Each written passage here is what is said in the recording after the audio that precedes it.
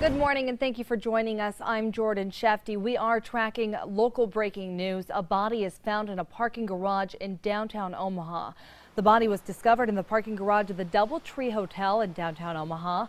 Police are on the scene investigating what happened. We don't have a whole lot of information right now, but we can tell you the body was discovered on the first floor of that garage. We have a crew on the scene and we will bring you more information as it becomes available.